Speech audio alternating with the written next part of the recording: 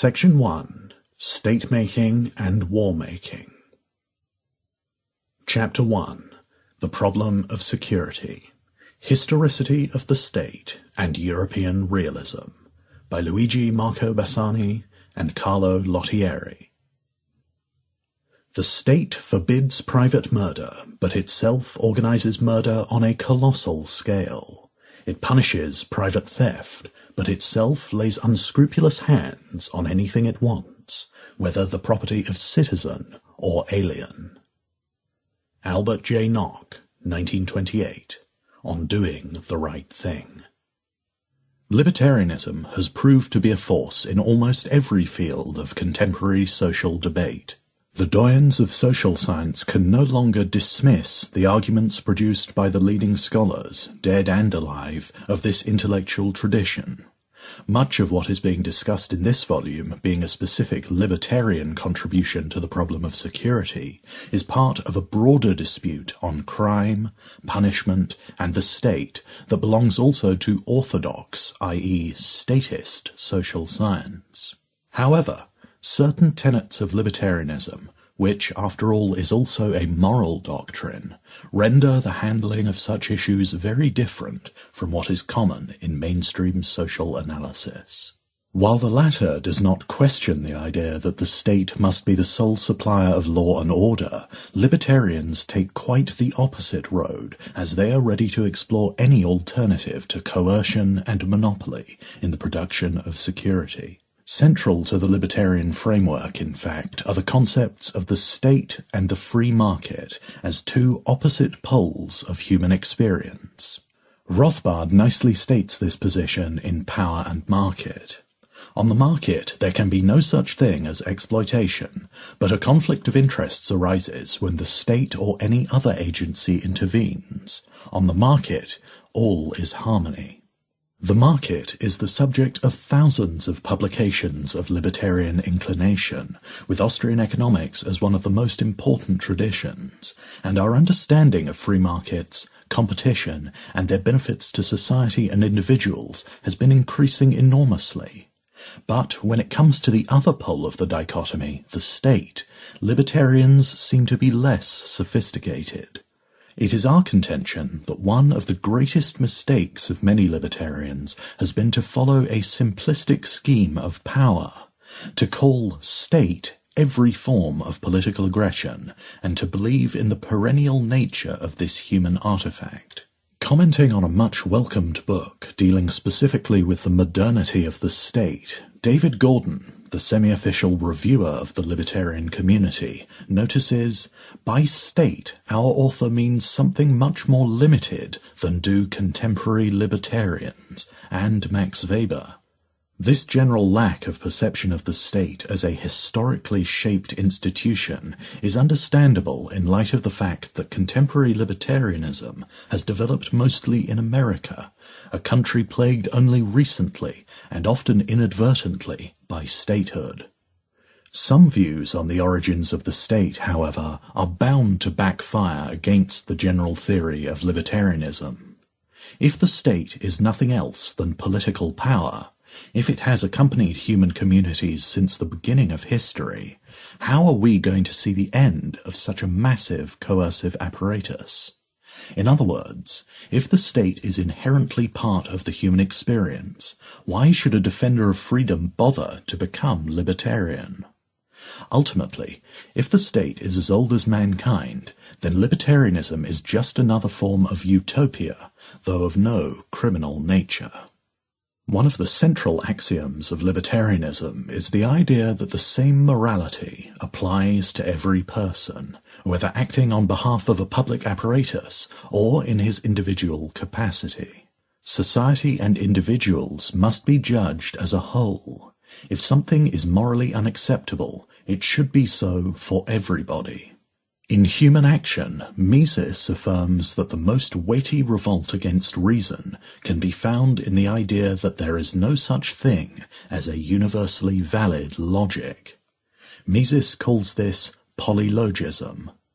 Marxian polylogism asserts that the logical structure of the mind is different with the members of various social classes. Racial polylogism differs from Marxian polylogism only insofar as it ascribes to each race a peculiar logical structure of mind. The rise of the state brought about a different kind of polylogism, whose paramount importance for the general theory escapes no one the division between the mass of subjects and the elite of political rulers. We can distinguish between three different concepts politics, coercion, and state. Not all politics are coercive, and not all coercive political orders can be called states. Libertarian theory is destructive not of politics qua politics, but of certain peculiar orders based on the monopoly of violence or of legitimate force. The most relevant example of the latter is the political order that won preeminence in Europe during modern times, the one that we call the state. In fact, the moral separation between the rulers and the subjects is a byproduct of the rise of modern politics, that is, the state. During modern times, the state has emerged because of many diverse and unique historical circumstances, but one single moral doctrine has been crucial for its materialization. It is the belief according to which the ruling class is legitimized to act by any means necessary, while the people at large are bound by a set of laws created by the rulers, as well as common sense morality. The state is indeed a very peculiar institution, having a uniqueness that must be appreciated from the historical point of view.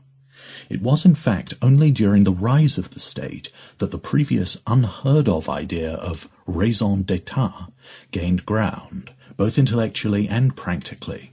Although quite correctly the name of Niccolo Machiavelli is to be associated with a break between politics and morality, the Florentine was only the first of several political theorists who worked to furnish the ruling class its morally invulnerable position. In particular, Giovanni Botero, in his 1589 book La Ragione di Stato, was the first to openly argue that, for the safety of the state, men may legitimately perform actions that would be considered crimes were they committed with other purposes or by people not empowered by such a noble institution. During previous times, however brutal they may have been, the viciousness of a double morality one limited to those acting in the name of the state, and the other suitable for the general public, simply did not exist. For libertarians not to grasp this historical fact would be a mistake of great import. In fact, since the birthmark of modern politics, political modernity being synonymous with the state, is the double standard libertarians so explicitly fight against, they would be missing a chance to give a sound historical foundation to their own theory. What gives libertarianism a great intellectual appeal, as well as a watertight foundation, is the very historicity of the state it is useful to borrow the words of a historian, certainly not a libertarian, to grasp immediately the consequences of a clear, precise, and scientific perception of the state. Quote, the state is not an eternal and unchanging element in human affairs. For most of its history, humanity got by, whether more happily or not, without a state. For all of its universality in our times, the state is a contingent and comparatively recent historical development. Its predominance may also prove to be quite transitory. Once we have recognized that there were societies before the state, we may also want to consider the possibility that there could be societies after the state. End quote. The fortune of Marxism as an intellectual force relied heavily on the fact that the socialists rarely advanced a model society. Karl Marx devoted a mere fraction of his intellectual productivity to fantasizing about the socialist ideal society, and his followers focused rather on a never-ending critique of capitalism. In contrast, Libertarians have concentrated much of their efforts towards envisioning a future society based on market exchanges, sometimes at the expense of reflections on strategy how to get from here to there. As for the libertarian critique of existing restrictions on free markets, we may rely on Austrian economics, or other traditions depending on one's tastes. But when it comes to the evaluation of the state, one has to rely on the past. It is in fact in the medieval political and juridical order that existed in Europe prior to the rise of the state that one could find suggestions for a libertarian future. Before we briefly explain what we consider to be the sound interpretation of the origins of the state, the key to a realistic treatment of the problem of security, let us briefly review the all too fashionable schools that still command respect from academic quarters. In particular, two related approaches are unsatisfactory the sociological and the anthropological views of the genesis of the state. One should be very suspicious of anthropological studies of the birth of the state for various reasons. First, because, although non-European cultures deserve all the scholarly attention they may get, at least as an antidote for the many centuries of racism, anthropologists have a tendency to fall in love with the cultures they study and make too much of them. We owe respect to every human being and his or her heritage, However, statements like the following, typical of a certain stream of cultural relativism, are quite unwarranted. Quote, when one is reading descriptions of those who lived in ancient Buganda or ancient Polynesia, images of the Italian Renaissance or Athens in the 5th century BC come to mind. But this could be considered a venial sin in light to what the anthropological school has to say about the hard issues. To Eli Sagan, quote, the state may be defined as that form of society in which non-kinship forms of social cohesion are as important as kinship forms, In fact, quote, state building was the process of kingship triumphing over kinship, end quote. While it seems difficult to grasp the different stages of institutional development from this vantage point, the complete absence of historical perception underlining such a postulate must be noted. It may be true that tribal and blood relations must be overcome in order to approach an institutionalized system of command. This simple truth, however, is unable to account for the complexity of modern juridical organizations. Moreover, the timeless nature of the anthropological analysis could be helpful to comprehend some perennial features of human societies, but it proves futile when applied to transient and peculiarly European institutional realities, such as the state. One of the pioneers of the tradition, James George Frazer, asserted, quote, The continuity of human development has been such that most, if not all, of the great institutions which still form the framework of civilized society have their roots in savagery and have been handed down to us in these later days through countless generations, assuming new outward forms in the process of transmission, but remaining in their inmost core substantially unchanged. Although rarely given full credit, the whole construction of the anthropological school follows the same line of reasoning drawn by Ludwig Gumplowicz and Max Weber a century ago. Gumplowicz was one of the leading exponents of the sociological tradition. He gave the following account of the origins of the state. Quote, the state is a social phenomenon consisting of social elements behaving according to social laws. The first step in the subjection of one social group by another is the establishment of sovereignty, and the sovereign body is always the less numerous. But numerical inferiority is supplemented by mental superiority and greater military discipline. End quote. One element of this definition, the anchorage to European realism, the idea that the disorganized mass will always be ruled by an organized elite, is still persuasive, but his portrayal of the human condition appears simplistic, ignoring largely the complexity of different institutional orders and political cultures. It seems to entail the existence of a process of subjugation going on since the beginnings of time, Let us notice, however, that Gumplowicz employs the word sovereignty, invented by Jean Bodin in 1576. The sociologists spoke of organizations, power, politics, domination, and so on, but they actually had in mind the state, i.e., political modernity. Instead of projecting a semi-barbaric and timeless condition on Western institutions, as the anthropologists do, the sociologists cast the state image on the hordes and tribes of all continents. This is also the most important ambiguity of Max Weber.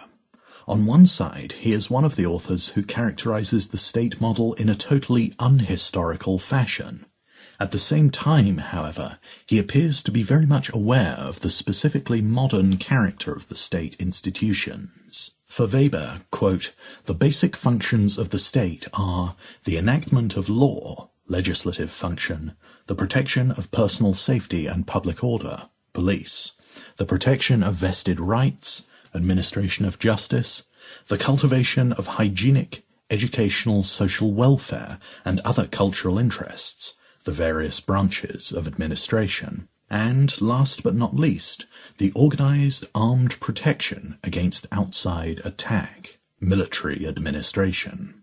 These basic functions are either totally lacking under primitive conditions or they lack any form of rational order. They are performed instead by amorphous ad hoc groups, or they are distributed among a variety of groups, such as the household, the kinship group, the neighborhood association, the rural commune, and completely voluntary associations formed for some specific purpose.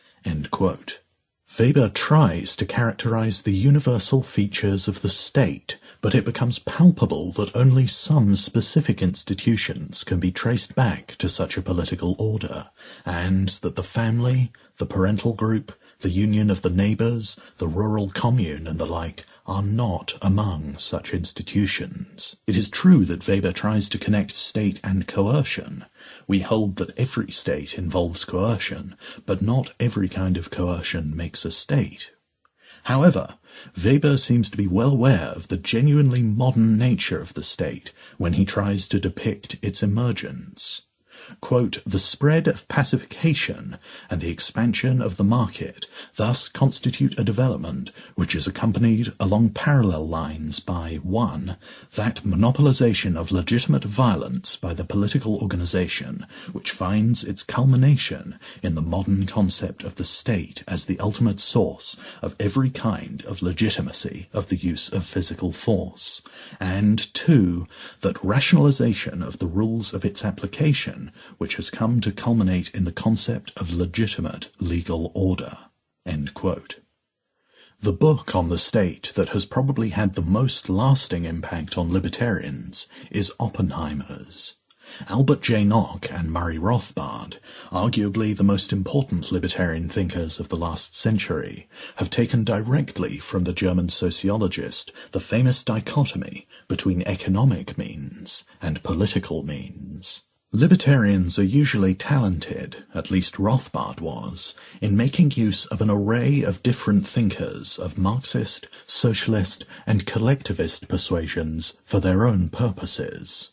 However, Oppenheimer is such a chaotic web of intellectual traditions that, perhaps, he is of no use at all. He considered himself a social liberal and put himself in very good company.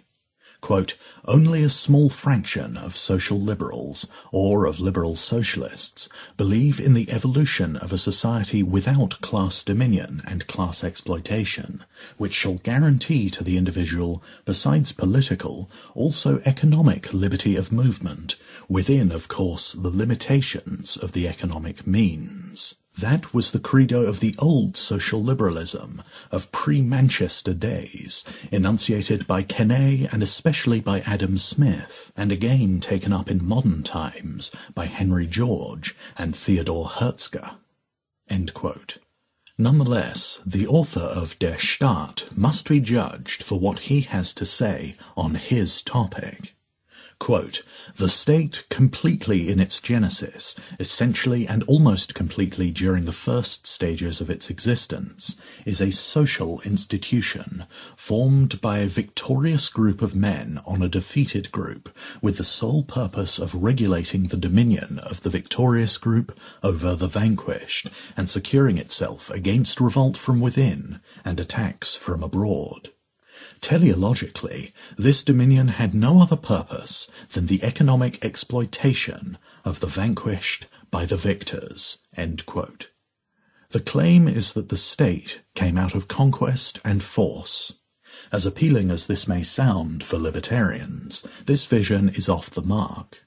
In another passage, Oppenheimer hints that the dawn of the state must be recognized in the division of labor the simple fact that some people were endowed by nature with a warrior character and physical ability. Quote, the peasants become accustomed, when danger threatens, to call on the herdsmen, whom they no longer regard as robbers and murderers, but as protectors and saviors. The herdsman has learned to capitalize. In other words, it was not only direct conquest, but also failed assaults that gave birth to the state. The best defenders discovered that they could do nothing and be nurtured by the population until the next wave of assailants came by. The warriors were thus the soul of the rising state. Needless to say, to defend and protect other people is a perfectly legitimate function, and if some people are very good at it, they deserve all the idleness they may get. The birth of the state, in Oppenheimer's enthusiastic conjecture, is contradictory. Plunder, definitely illegitimate, on the one side, and the division of labour, clearly legitimate, on the other. Nation and state were born together and are indistinct in the German scholar's imagination. Quote, the moment when the first conqueror spared his victim in order to permanently exploit him in productive work was of incomparable historical importance. It gave birth to nation and state, to right and the higher economics, with all the developments and ramifications which have grown and which will hereafter grow out of them. Oppenheimer is one of the leading sociologists to have paved the way for a fusionist socio-anthropological model. Countless quotations from Friedrich Ratzel add an exotic flavor to the book. We are thus brought into a world where social organizations of the Ovambo, Wahuma, and other primitive cultures should teach us something about the state and its specific features. The Rise of the Sovereign State The Borders of Law and Order The first myth one has to debunk in order to assess the relationship between the provision of law and order and the rise of the modern state is that this political institution is merely a natural and organic outgrowth of political power, as old as the history of mankind or of organized society. Actually, it would be wise to dispose of the qualifier modern. Only the state is modern. Whether we see its cradle in the Italian system of states after the Peace of Lodi, 1454, or in Western Europe, Spain, France, England, in the 1600s, one thing is clear. The state gradually emerged in the course of the fifteenth and sixteenth centuries, and found its first mature form in the seventeenth. After a summary of the chief traits of the state, organization, sovereignty, coercive control of the population, centralization, etc., Gianfranco Poggi affirms, quote, strictly speaking, the adjective modern is pleonastic, for the set of features listed above is not found in any large-scale political entities rather than those which began to develop in the early modern phase of European history. End quote. Oakeshott seemed to be conscious of this peculiarity of the state when he affirmed that, quote, the somewhat novel association of human beings, which came to be called the states of modern Europe, emerged slowly, prefigured in earlier European history, but not without some dramatic passages in their emergence. For the most part, the territories of modern states were newly delineated. They were the outcome of movements of consolidation in which local independencies were destroyed, and movements of disintegration in which states emerged from the breakup of medieval realms and empires. The second myth we must dispose of is the belief, shared by most historians, that the rise of the state contributed to the general cause of human liberty. In other words, that it has been a progressive factor in the history of mankind. Instead, it must be seen as a revolution that upset the old order, granting privileges, immunities, and rents to some, and obliterating them for the rest of society. As Charles Tilly put it, quote, the European state-makers engaged in the work of combining, consolidating, neutralizing, and manipulating a tough, complicated, and well-set web of political relations. They had to tear or dissolve large parts of the web, and to face furious resistance as they did so.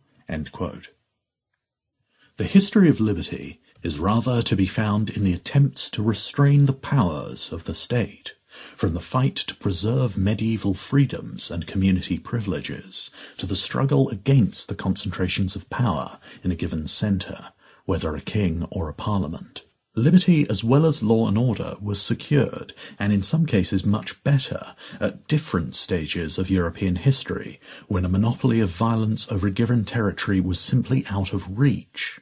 Although we are primarily concerned here with the state provision of law and order, one must not forget that the self-governing communities of the Middle Ages, in northern Italy and central Europe, offer significant examples of a completely different way of guaranteeing peace and security. In the golden age of communal liberty, which lasted in most parts of Europe until the 16th century, but in certain areas like Switzerland much longer, merchants and citizens formed their own statutes regulating passage, immigration, and exchange. In short, everything related to a peaceful and non-coercive self-government. During these times, there was no clear-cut definition of power over a given territory, as there were no borders in the modern sense. An institutionalized power always had an antagonistic counterpower claiming allegiance from the same subjects. The result was that every medieval command was actually nothing more than a claim, subject to be opposed and constrained by an institutional network of competing counterclaims. In Freedom and the Law, Bruno Leoni stated that, quote, an early medieval version of the principle no taxation without representation was intended as no taxation without the consent of the individual taxed and we are told that in 1221 the Bishop of Winchester, summoned to consent to a scutage tax, refused to pay after the council had made the grant on the ground that he dissented, and the Exchequer upheld his plea. We also know from the German scholar Gierke that, in the more or less representative German assemblies held among German tribes, according to Germanic law, unanimity was requisite, although a minority could be compelled to give way. It was not only what has been simplistically called medieval pluralism that guaranteed the impossibility of any state-like organizations, but rather the forms of juridical relations between individuals and rulers. In medieval society, the lives and properties were not readily accessible to the king and nobles.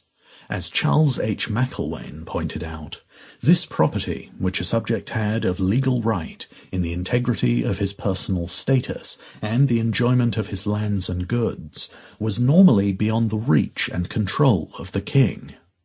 At the opening of the fourteenth century, John of Paris declared that neither pope nor king could take a subject's goods without his consent. It seems quite difficult to conceive of a state without the attributes of a state, that is, the possibility of disposing at free will over the lives and properties of its subordinates. Clearly, what was beyond the reach of king and nobles during the Middle Ages is now available to democratic majorities, and the whole story of the state is how we got from there to here. Prior to the birth of the state, the predatory effects of political power on individuals were minimal compared to other areas of the globe or to what happened later on the same continent, and in any case, citizens always retained their exit right. This right kept a check on political power and is singled out by many authors as one of the primary causes for the development of a limited territorial predator in the West. Meanwhile, there was no single source of law and order. The production of security was never considered a distinct institutional affair, but rather a concern of the whole community. For several centuries, customs, traditions, and ancient Roman laws worked together in assuring a juridical order. Law in the Middle Ages was a way of resolving conflicts, but it was kept a more or less private business. There was no organic conception of the social body, and thus crime remained a private matter to be taken care of with well-defined rules. In other words, crime was never considered a social problem, a wound inflicted on the collective body. This in turn implied that the victims were the center of any lawsuit. Redress was done from the point of view of the victims, never of a supposedly wounded collectivity. Even when feuds broke out, which was quite often, the families involved were asked to re-establish the public peace, but very seldom were the perpetrators of crimes punished once peace was restored. In a peculiar sense, words as crystallized ideas have consequences. The medieval period was definitively over when, at the end of a long gestation, the word state was used in the modern sense by Niccolo Machiavelli.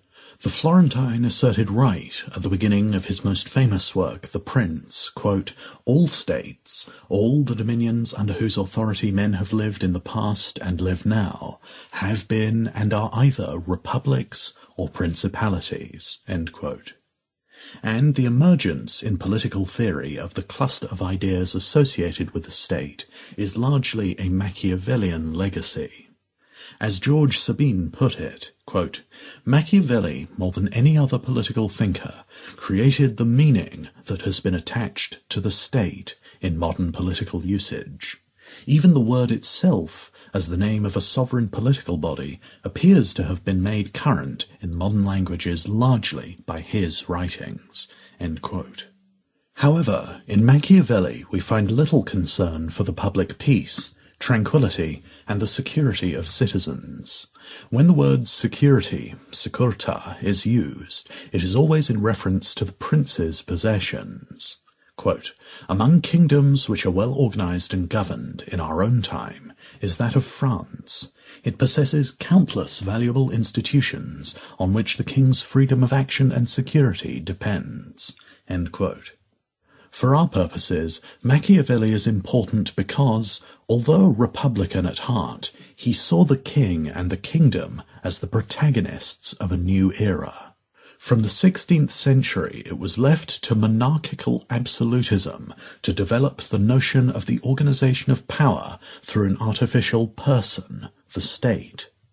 The novelty of such a political creature was that the entire political reality was reshaped through offices, entities, and laws. The new body politic transcended individuals as well as sovereign. It did not represent anybody. It simply existed and was nurtured by myths produced by historians as well as politicians. First and foremost, the myth of having always existed.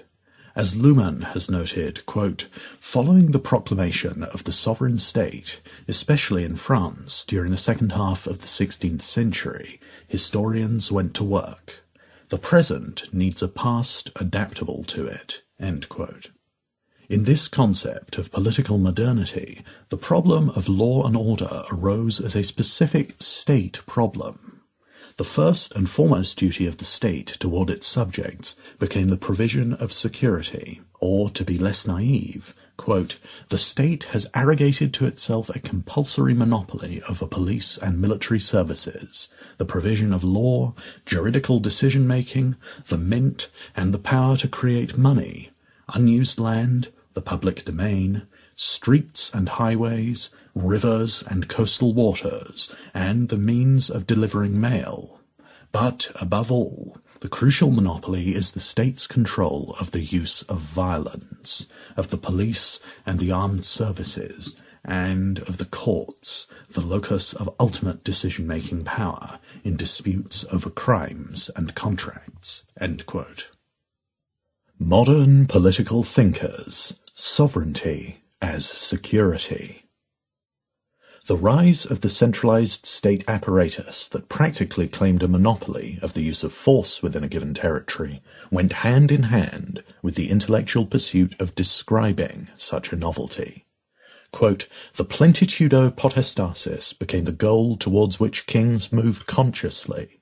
To reach it, a long road stretched before them, for it was necessary to destroy all authorities other than their own, and that presupposed the complete subversion of the existing social order.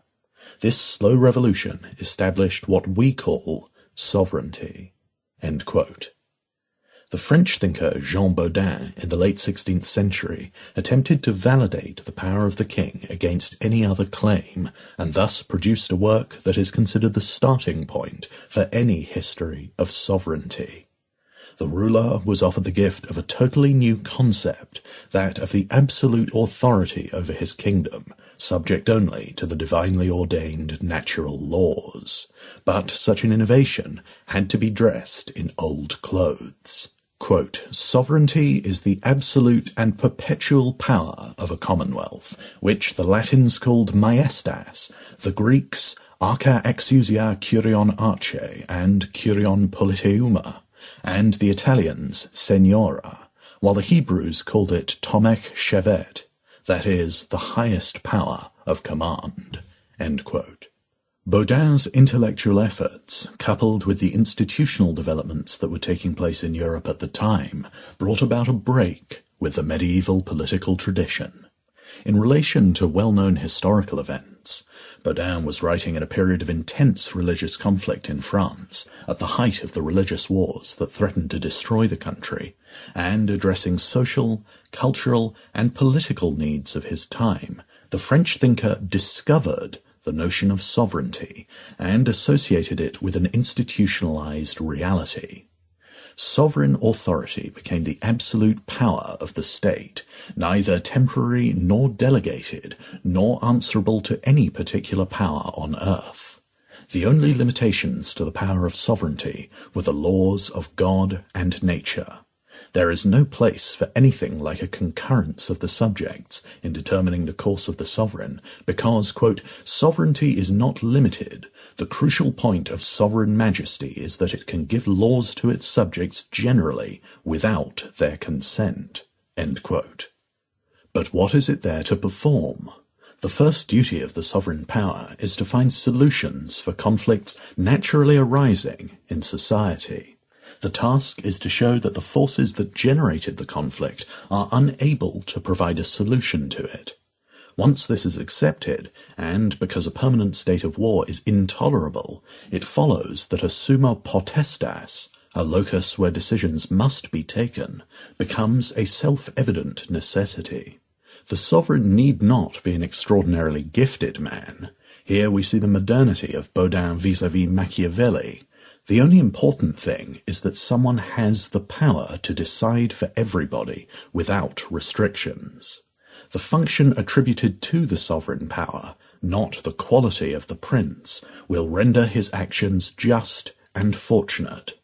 It is the birth in political thought of the institutional reality. Some contemporary political philosophers' far-reaching visions notwithstanding, sovereignty is very much a state concept, as in the days of Charles Loyseau, who asserted, quote, Sovereignty is entirely inseparable from the state, for sovereignty is the form which causes the state to exist. Indeed, the state and sovereignty in the concrete are synonymous. Sovereignty is the summit of authority by means of which the state is created and maintained. It was up to Thomas Hobbes to reinterpret the same category discovered by Bodin in times of social and political strife for England that parallel those in which the French thinker wrote. The framework created by Hobbes has had a much more lasting impact on social philosophy. As Hoppe put it, quote, the myth of collective security can also be called the Hobbesian myth. Thomas Hobbes and countless political philosophers and economists after him argued that in the state of nature men would constantly be at each other's throats. Homo homini lupus est. Put in modern jargon, in the state of nature, a permanent underproduction of security would prevail. Hobbes accentuated the institutional characteristics of the sovereign power, as well as the necessity of preserving the public peace. In fact, the only times when the citizens seem to have certain rights vis-à-vis the sovereign is when the latter does not perform his duty to provide law and order. A contemporary historian asserted, quote, Hobbes deserves the credit for inventing the state, as an abstract entity separate both from the sovereign who is said to carry it and the ruled who, by means of a contract among themselves, transferred their rights to him. Hobbes's sovereign was much more powerful than any Western ruler since late antiquity. The supreme power, be it vested in an omnipotent assembly or a king, has a right to the obedience of its subjects. Quote, and because the end of this institution is the peace and defence of them all, the citizens, and whosoever has a right to the end has a right to the means, it belongeth of right to whatsoever man or assembly that hath the sovereignty to be judge both of the means of peace and defence, and also of the hindrances and disturbances of the same and to do whatsoever he shall think necessary to be done, both beforehand for preserving the peace and security, by prevention of discord at home and hostility from abroad, and when peace and security are lost, for recovery of the same. The great antagonist of Hobbes in 17th century England was John Locke, but as far as we are concerned, only one difference must be kept in mind. Hobbes defends government as a peacemaker, Locke as a rights protector. Locke's concept of the state as a man-made artifact for the protection of life, liberty and estate, in a word, property, puts him in a different class of thinkers. The state is still the provider of law, order and social peace. However, it is limited by a major constraint, namely the protection of the individual's natural and inalienable rights. This is the peculiar Lockean notion of law and order. Property, the sum of the individual's rights in the state of nature minus the individual right to self-defense, which is forfeited upon entering into civil society, must be guaranteed by the state monopoly of force. Obedience, however, is not granted unconditionally. Quote, the reason why men enter into society is the preservation of their property, and the end, while they choose and authorize a legislative, is that there may be laws made and rules set as guards and fences to the properties of all the society, and to limit the power and moderate the dominion of every part and member of the society. For, since it can never be supposed to be the will of the society that the legislative should have a power to destroy that which everyone designs to secure by entering into society, and for which the people submitted themselves to the legislators of their own making, whenever the legislators endeavour to take away and destroy the property of the people, or to reduce them to slavery under arbitrary power, they put themselves into a state of war with the people, who are thereupon absolved from any further obedience, and are left to the common refuge which God hath provided for all men against force and violence. The intellectual pursuit of an almost non-sovereign state, or at least of a limited state, bound by consent and natural rights, which is what the work of Locke is about, gave birth to the traditions of classical liberalism and constitutionalism. But the quest for full sovereignty of the body politic did not end with Locke's second treatise, which actually had little impact when it was first published in 1690 and went almost unnoticed for several decades. A very different kind of thought, soon to gain preeminence in continental Europe, was developed in the 1700s by a Geneva-born thinker. For Jean-Jacques Rousseau, sovereignty resides in the general will, and accordingly individuals must be forced to be free. In the Social Contract, 1762, he wrote, quote, In order then that the social compact may not be an empty formula, it tacitly includes the undertaking, which alone can give force to the rest, that whoever refuses to obey the general will shall be compelled to do so by the whole body. This means nothing less than that he will be forced to be free, for this is the condition which, by giving each citizen to his country, secures him against all personal dependence. In this lies the key to the working of the political machine. This alone legitimizes civil undertakings which, without it, would be absurd, tyrannical, and liable to the most frightful abuses. In spite of the war on individuality declared both by Rousseau and his Jacobin followers, classical liberalism did not completely die out on the continent. Frederic Bastiat, in the middle of the 19th century, was one of the few political theorists to revive the natural rights tradition. In a famous pamphlet, he stated that, quote, Life, liberty, and property do not exist because men have made laws. On the contrary, it was the fact that life, liberty, and property existed beforehand that caused men to make laws in the first place. What then is a law? It is the collective organization of the individual right to lawful defense. Each of us has a natural right from God to defend his person, his liberty, and his property. These are the three basic requirements of life, and the preservation of any one of them is completely dependent upon the preservation of the other two. Just a year earlier, another French economist, Gustave de Molinari, published an article in the Journal des Economistes challenging for the first time the state in its most vital monopoly function, the production of security. Molinari begins by quoting Dunoyer, a classical liberal who believed that a state monopoly on law and order was a necessity. Quote, One economist who has done as much as anyone to extend the application of the principle of liberty M. Charles Dunoyer, thinks that the functions of government will never be able to fall into the domain of private activity. And then he poses the crucial question. Quote, but why should there be an exception relative to security? What special reason is there that the production of security cannot be relegated to free competition? Why should it be subjected to a different principle and organized according to a different system? End quote. Molinari's argument for security as a commodity is simple and very appealing. Quote, it offends reason to believe that a well-established natural law can admit of exceptions. A natural law must hold everywhere and always, or be invalid. I consider economic laws comparable to natural laws the production of security should not be removed from the jurisdiction of free competition, and if it is removed, society as a whole suffers a lot. Either this is logical and true, or else the principles on which economic science is based are invalid.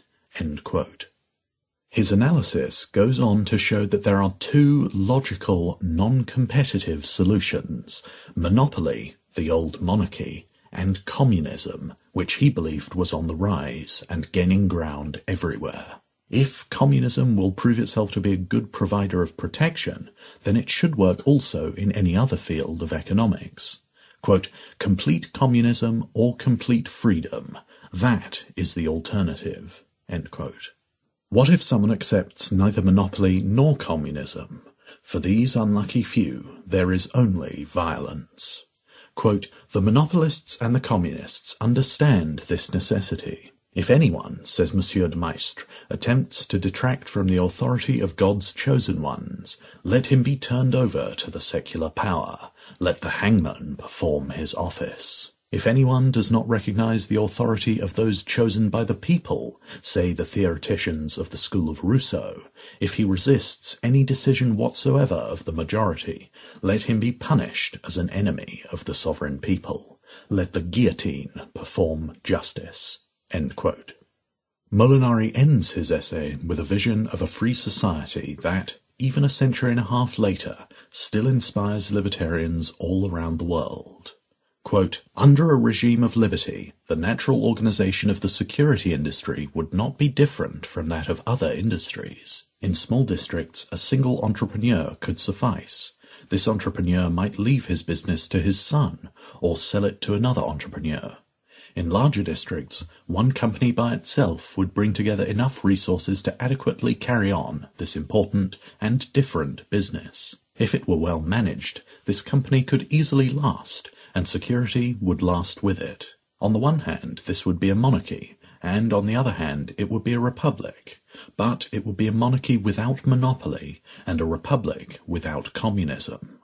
On either hand, this authority would be accepted and respected in the name of utility, and would not be an authority imposed by terror.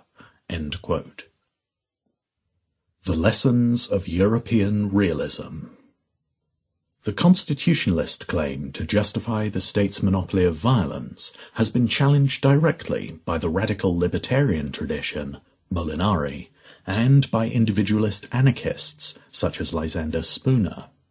However, an important role in bringing the modern state into perspective has also been played by European political realism, and in particular by Carl Schmitt and the Italian elitist scholars Gaetano Mosca, and Vilfredo Pareto. Schmitt's importance rests very much on his intuition that in every state there is first a political dimension and then a decision, which cannot be obscured by the so-called impersonality of law and the super-individuality of orders. Beyond the apparent abstraction of the state as described by Hans Kelsen and other positivists, Schmitt uncovered choices, interests, and in short, people that impose their will on others. The constitutional thought of classical and contemporary liberalism has constantly tried to neutralize politics, but it has failed. In Schmitt's opinion, the real sovereign is the political group that has the final decision about the critical situation in the state of emergency.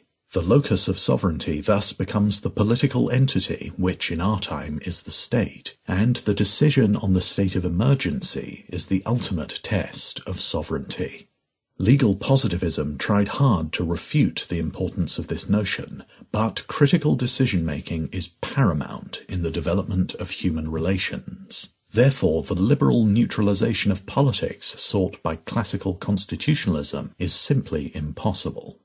When the state, every state, is recognized as a structure of decisions and an instrument of domination wielded by some rulers, political modernity displays itself with no clothes, and one can understand the illegitimacy as well as the irrationality of the monopoly of protection. There is nothing neutral or innocent in the power of a group of men that Italian elitists called the ruling class. Hobbes was wrong as a philosopher when he asserted that law comes from authority. However, we can agree with political scientists using Hobbesian theory that the state decisions are the results of conflicts of interests and opposing views. In statist societies, where law is controlled by a monopolistic institution, it is force that dictates law. This is especially true in democratic countries, where social life is marked by the competition for the control of the political center, i.e. the power to distribute resources, favors, and privileges. Schmitt's critique of the hypocrisy of liberal democracy is confirmed by the Italian elitists. The latter were convinced that in every political system there is a small group of men, an organized elite, dominating the large, disorganized mass.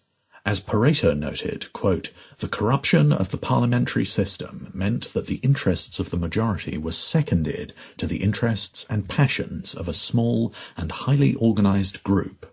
These were ready to use any means to extend their influence and dominate the country. For this reason, democracy exists only as a political ideology devoted to protecting and legitimating the power of a minority capable of taking advantage of its higher organization. Bruno Leoni adopted political realism and the lessons of the Italian elitists in his critique of majoritarian democracy. In his opinion, eliminating all group decisions taken by aggressive coalitions, quote, would mean terminating once and for all the sort of legal warfare that sets group against group in contemporary society because of the perpetual attempt of their respective members to constrain, to their own benefit, other members of the community to accept misproductive actions and treatment. In juridical and political philosophy, the hypothesis of a neutral state is often supported by the suggestion that this political institution is eternal. However, European political realism refused this arbitrary identification between state and politics. Social orientations generally support contemporary democracy, defining all forms of juridical organization as part of the all-encompassing category state. A major contribution of Schmitt, as we noted, is his placing the state in historical context, i.e., modernity. For all these reasons, European realism has contributed to uncovering the fabrications of constitutionalism, the conceptual frauds of democracy, and the fallacious idea that the state is an institutional reality as old as mankind. To be sure, Schmitt was the most theoretically sound expounder of the crisis of the state, but he did not identify a solution. Another protagonist of European realism, the Lombard scholar Gianfranco Miglio, tried to go beyond Schmitt. In some of his works, he has explained the crisis of the Soviet state model. This was the downfall of the modern political system that showed the greatest confidence in the rationality of orders imposed with violence. Given that the Soviet Union has broken up, Miglio asserted, the other state systems, especially the ones governed by democratic parliaments, would suffer growing criticism and dissent, and might also collapse in the near future. The state is declining also because of its internal contradictions. In its attempt to appear as a non-aggressive provider of individual rights, the state has created a deceitful contractualism which is continually sapping its existence. From a theoretical point of view, as Miglio observed, quote, the modern state is a construction entirely based on the contract. It has extended into the non-political area of private life. Therefore, the state is historically a complex of services and provisions, a gigantic entity of contractual relationships. In fact, in spite of its ideological self-representation, the democratic state is an illustration of violence and monopoly unparalleled in human history. It exists because it is the only institution authorized to use force in a given territory. However, the notion of political obligation has lost vigor and consistency, while economy and communications are growing, together with the rationality of free exchange, free markets, and free discussions. In Search of Libertarian Realism the force of Miglio's arguments derives from the fact that his speculative theory tries to bring together the pars destruens of European realism with the pars construens of American libertarianism, although somewhat unconsciously. For Miglio, however, political communities are primary entities, while most contemporary libertarians, like Rothbard, accept Molinari's theory about the privatization of security and imagine a complete liberalization in the realm of law and order. It is not the usual occupations of contemporary states that are the focus of libertarian criticism. Quote, the state indeed performs many important and necessary functions, from the provision of law to the supply of police and firefighters, to building and maintaining the streets, to the delivery of the mail. But this in no way demonstrates that only the state can perform such functions, or indeed that it performs them even passably well. Rothbard's demystification of the state is appealing. In fact, he underlined a methodological integration of state and civil society and pursued a reductio ad unum that eliminates every artificial frontier between men operating within the private and public sectors. In his noted statement of the tenets of the Libertarian Creed, he asserted, quote, The Libertarian refuses to give the state the moral sanction to commit actions that almost everyone agrees would be immoral, illegal, and criminal if committed by any person or group in society. The Libertarian, in short, insists on applying the general moral law to everyone and makes no special exemptions for any person or group. For libertarians, it is impossible to accept criminal behavior if carried out by the lawmakers. It must be condemned just as when a simple citizen acts in the same manner. Rothbard remarks that, quote, all other persons and groups in society, except for acknowledged and sporadic criminals such as thieves and bank robbers, obtain their income voluntarily either by selling goods and services to the consuming public or by voluntary gift, e.g., membership in a club or association, bequest, or inheritance. Only the state obtains its revenue by coercion, by threatening dire penalties should the income not be forthcoming. In libertarian theory, Albert J. Nock analyzed the consequences of this situation in the 1930s. Quote, Taking the state wherever found, striking into its history at any point, one sees no way to differentiate the activities of its founders, administrators, and beneficiaries from those of a professional criminal class. When the state exercises a monopoly of violence and punishes criminal behavior committed by ordinary citizens, it must legitimize itself and its own criminal behavior. Hence, Schmitt was right when he said that in state-ridden societies there is always a decisional dimension, political and arbitrary, that nobody can ignore and no institution can eliminate. Rothbard also accepted the main tenets of elitism. His opinion is that, quote, the normal and continuing condition of the state is oligarchic rule, rule by a coercive elite which has somehow managed to gain control of the state machinery. End quote. His thesis is that an important argument, quote, for the oligarchic rule of the state is its parasitic nature, the fact that it lives coercively off the production of the citizenry. To be successful to its practitioners, the fruits of parasitic exploitation must be confined to a relative minority. Otherwise, a meaningless plunder of all by all would result in no gains for anyone. So, Rothbard gave us a straightforward explanation of the fact that a minority controls the state, and he often used Oppenheimer's distinction, as we noted, probably the only utilizable reflection to be found in the state, between economic means and political means. Quote, there are two fundamentally opposed means whereby man, requiring sustenance, is impelled to obtain the necessary means for satisfying his desires.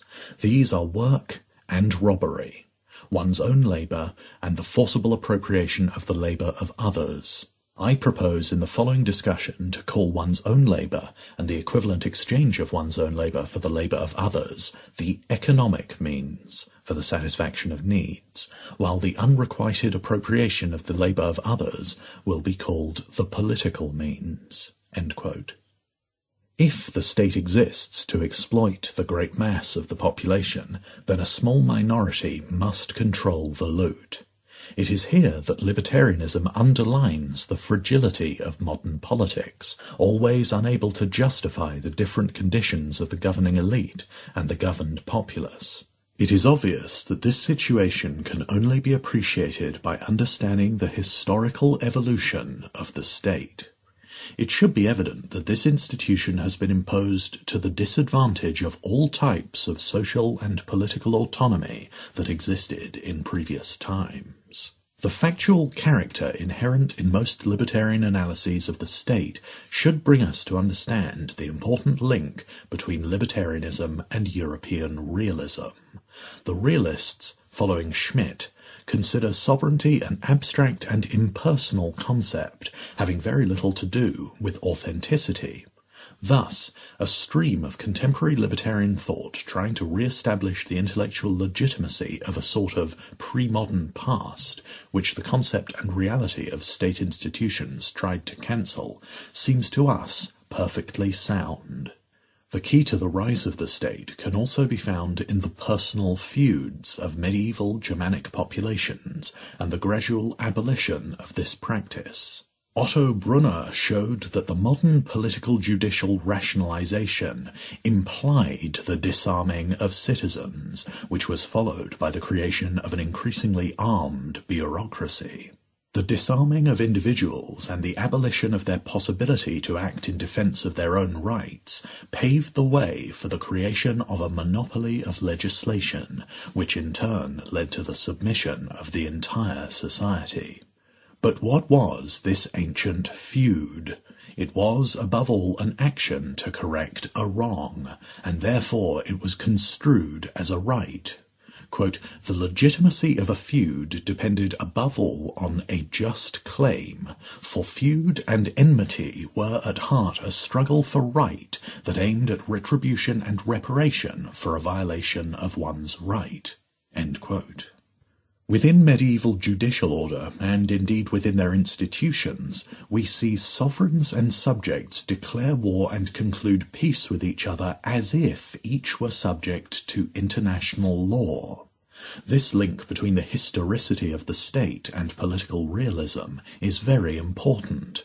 The analysis of Brunner about medieval feud is interesting also because it underscores the fact that law and society are the result of individual acts. Bruno Leoni's writings about the individual claim illustrate the attempt to construe a realistic theory on the origins of law based on methodological individualism. Medieval history offers a corroboration of this thesis. For Leoni, norms are the result of an exchange of individual claims, as the price is the result of a negotiation between buyer and seller. But also, the feud solution of medieval law can be analysed as the conclusion of an interaction between the victim, who asked for justice, and the offender, who must satisfy the claims of the victim and refund the damages. In fact, the feud was not an arbitrary initiative. Its essential premise was the existence of a juridical foundation. Without a wrong being committed, there was no feud, but simply brute force, rebellion, and aggression. On the other hand, Brunner showed that, quote, in a legitimate feud, the parties were required to offer justice in some sort of preliminary negotiations, end quote. In many cases, a feud was not simply a right, but also a duty that took priority over an individual's obligation to a third party, a creditor in particular. The strides toward political modernity cancelled the polycentric juridical order without a monopoly of the law, where each vassal could lawfully initiate violence against his own lord in order to have his reasons recognized. As Otto Brunner noted, quote, prohibiting feuds was not a matter of a simple act of state. It entailed a fundamental change in the structure of law and politics.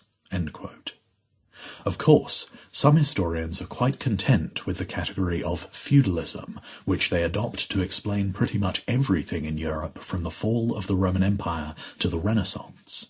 We concur with Brunner that this is a quote, convenient cover for everything that one does not understand about the Middle Ages.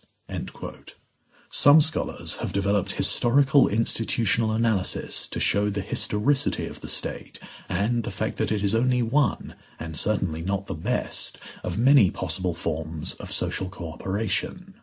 There are a number of non-state judicial organizations which, although marginal, are nevertheless important for our historical comprehension of the problem.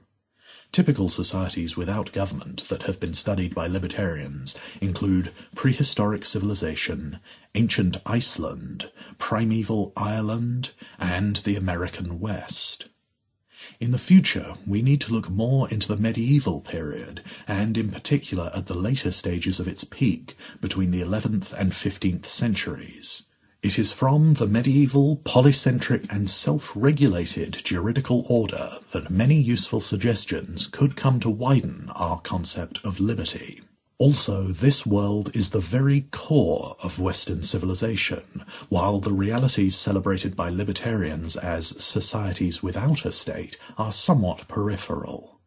Prior to the rise of the state, law and its interpreters had to recognize the existence of traditions, ethnic and family ties, and customs and culture. Law was mostly unwritten. It coincided with customs and therefore it existed in a series of concrete cases that were outside the control of any political authority. It was to be found in the realms of jurisdiction and in the theoretical debates made by theologians and jurists. In the medieval period, the law was far from the all-encompassing instrument of modern societies. There are two levels of law within medieval society, lex divina and lex humana. The latter was never intended as an act of free will, but rather as a constant and imperfect attempt to impose divine rationality on nature and society. In the tensions that united and divided divine law and human law, an extraordinary intellectual work emerged, witnessed by the scholastic Quaestiones. In St. Thomas, therefore, law was quoddam dictamen practicae rationis, an expression of practical reason. The greatest effort consisted of finding the strength and limits of the historical laws to be able to recognize laws necessary for society that were coherent with how God had ordained the world. Tota communitas universi gubernatur ratione divina, et ideo ipsa ratio gubernationis rerum in Deo sicut in principe universitatis existens, legis habet rationem. Communities by consent, market for protection, and the New World Order. One of the more characteristic features of the medieval period was the dimension of the traditional community. The isolated individual did not exist either socially or politically. The intentional characteristics of modern law as an act of free will of those who are in power, and the centrality of the individual without relations, without history or identity, completely abstract and simply part of the welfare state, are therefore closely linked. Contemporary libertarianism, after decades of oblivion of community, has also developed a tendency to rethink the individual and to emphasize his strong ties within a community. Furthermore, the free market can be appreciated fully for its ability to connect individuals, thereby favoring communications and the development of a sense of community. The market, in fact, allows the emergence of relationships based on trust this is essential for the quest for a society capable of minimizing the role of violence, like the one envisioned by libertarians. Protection agencies competing for customers could be the means to create consensus and trust among those who require security. This free market for protection, favored by libertarians, would be a prelude to a revitalization of interpersonal relationships. On the other hand, economic analyses of state redistribution and studies on rent seeking have shown that in its terminal stage, statist politics is a bitter struggle of everyone against everyone in search of privileges. The triumph of the Hobbesian state of war occurs inside the body politic, within the borders of the sovereign power. At the beginning of the 21st century, Leviathan seems to have concluded its own parabola in a society dominated by conflicts without rules. Contemporary politics faces a dilemma. Should the state protect individuals as individuals, or should it consider men as members of a group? If it opts for the former, it must ignore identity and culture to the point of obliterating traditions in the name of the Commonwealth of the Republican values. On the other hand, if it considers individuals as part of a group, the state must accept the balkanization of political society. This in turn implies that power becomes the fulcrum of a cartel of ethnic, religious, or cultural groups that look after their own interests to the detriment of everybody else's rights. Indeed, within the state, each difference becomes an excuse for conflict and contrast. Contrary to the critics of libertarianism, the commercialization of protection does not lead to the disorder of endemic conflict and war without solutions. Once again, the medieval experience shows that conflicts were less frequent and their consequences less bloody. Furthermore, the inability to reach the lawmaking process, the seat of ultimate decision-making, as the former was placed in no particular centre and the latter simply did not exist, made the risks associated with waging war not worth taking. The fragmentation of medieval politics had the merit of making all institutions weak and each army small. As Jean Baechler showed in his famous work on the origins of capitalism, it was medieval anarchy that helped create the dynamism of the first capitalism, both in the northern Italian and Flemish communes, and in the markets of France. The weakness of politics was the strength of the merchants, and vice versa. We believe that a careful re-examination of the past can be a means of regaining efficient strategies for liberty. The failure of public monopolies in facing crime has already aided the spread of private security agencies to protect banks, companies, and residential areas. It is reasonable to imagine that the number and size of these activities will continue to grow in the future, as it has done extraordinarily over the past 22 years. There are no contradictions, furthermore, between the libertarian defense of secessionist processes, which lead to the development of smaller territorial monopolies, and the hypothesis of a market where protection is guaranteed by insurance companies and private police forces. Both strategies are closely related because if secessionist processes are able to challenge state control of the territory, they also tend to create new and smaller protection monopolies. These in turn are less capable of subduing their own citizens, thanks to reduced exit costs and to the widening supply of governmental services.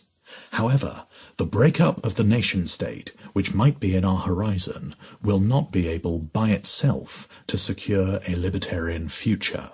One need only to observe what is happening on an international level to see that a new concept of law enforcement is quickly gaining ground.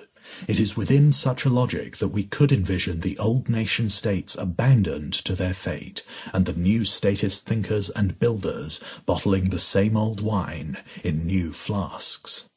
Given the great difficulty within national borders, state law enforcement is trying to re-legitimize itself within a new world order, which, thanks to the United Nations, NATO and the like, would want to ensure maximum protection to all our rights.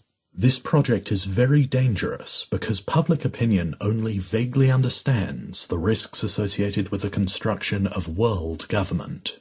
Humanitarian interventionism, which is opening the path toward this goal, seems to meet with favor from the general public as well as from the pundits.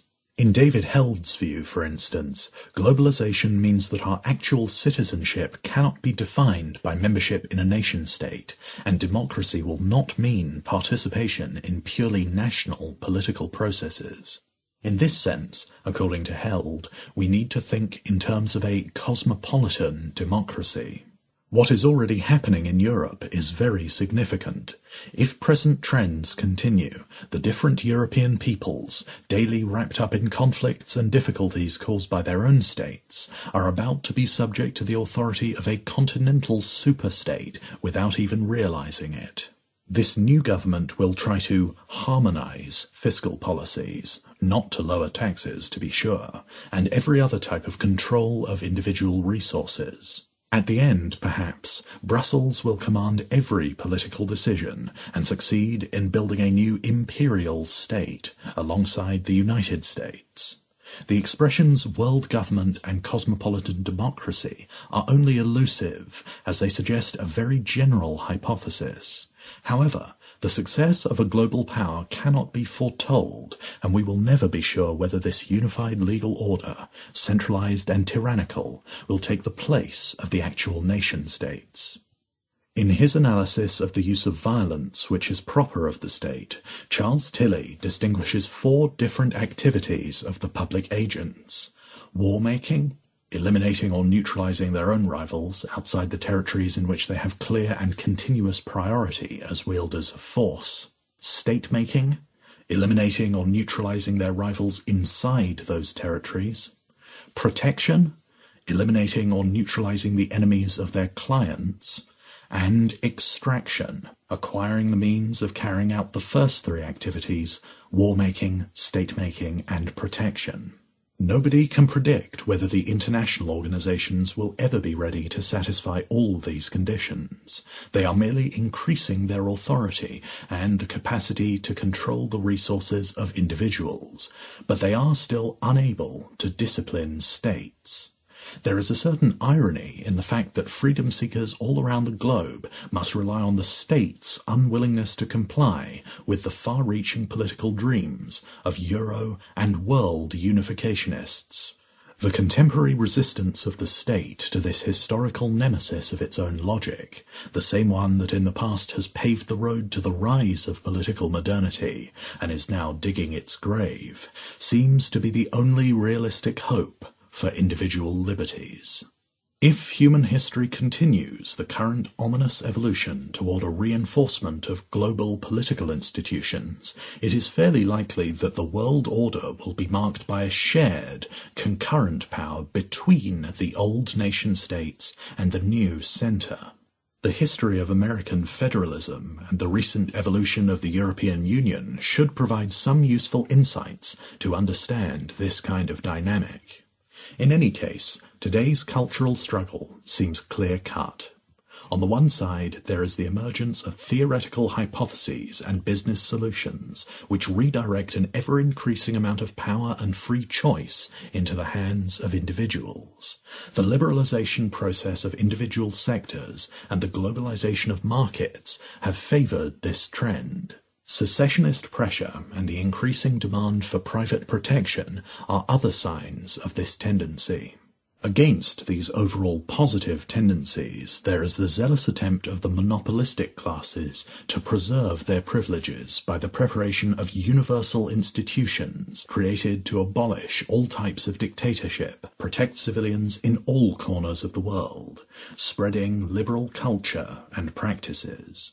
The struggle against poverty, sufferance, and ignorance, which have in the past been the pretext to justify socio-economic intervention by governments and the domination of the political classes, has now reappeared as planetary welfareism. And this new statism is aimed at creating a technical structural monopoly capable of imposing its own wishes on everyone. The contemporary humanitarian liberal agenda, which caused the most recent conflicts, is something truly paradoxical and contradictory. The attempt to justify war by the political classes of NATO was shielded by the championing of individual rights. The crimes committed by those who bombed the civilian Serbian population were justified with constant referral to the civilian situation in Kosovo. Thus states disappeared, and the war appeared to be what it actually was, a conflict between individuals, groups, and coalitions. War returned to being something similar to the medieval feud, even if it had no moral legitimacy. By refusing to confer upon Milosevic's Serbia the traditional dignity granted to states, the Western Allies showed the very nature of their own institutions. In its hypocritical appeal for individual rights of Kosovo's citizens, NATO was forced to ignore the rights of Yugoslavia as a state, and thus to accept the view of European realism and American libertarianism. This bloody episode shows that the same logic which could lead to a world government could also lead in the opposite direction. The return of individual and ethnic rights, even only as an excuse for political imperialism, could favour the dissolution of nation states, of large continental empires, and of mainstream political culture. Many libertarians have singled out international relationships among individuals in times of peace as examples of contractual agreements, voluntary jurisdiction, and minimal coercion we may witness a fundamental change. The conflict between liberty and coercion will continue to make its mark on human history in the future, and the international arena will probably be a more important battlefield than the domestic one.